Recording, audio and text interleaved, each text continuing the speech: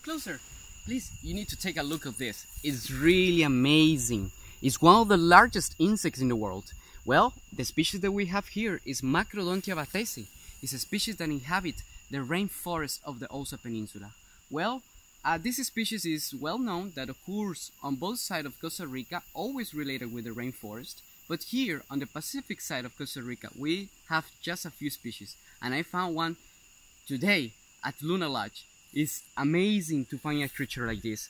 Well, we don't know some, so much about this species.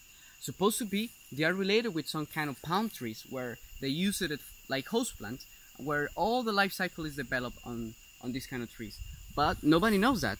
So um, right here I have a male. The male, it has so long mandibles, really long antennas, but not so long like another kind of longhorn beetles that we have in the rainforest.